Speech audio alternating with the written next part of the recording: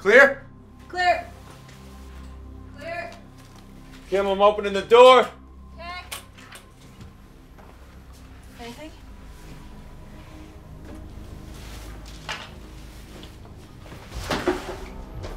I got blood here.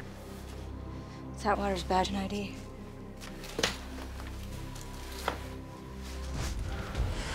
First thing they tell you in the academy. if Fender gets a gun on you, you dump your ID, you never tell him you're a cop.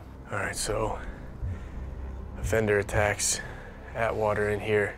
He dumps his star. Then he walks him outside.